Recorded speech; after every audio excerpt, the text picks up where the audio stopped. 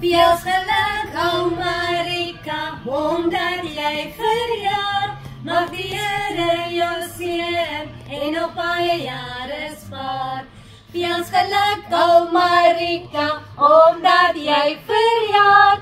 Mag die Here jou seën en nog baie jare spaar. Hip hip, hooray! Ons wil vir ietsie Proverbs 31 from verse 10. A wife of noble character who finds she is worth far more than rubies.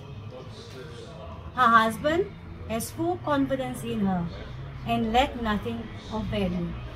She is clothed with strength and dignity. She laughs at the days to come. Her children arise and call her blessed. Her husband also. And he praises her. Mevrou, geseënde verjaarsdag. Alles wat mooi is en ek ons waardeer mevrou baie en ons is baie lief vir mevrou. Happy birthday. Bye.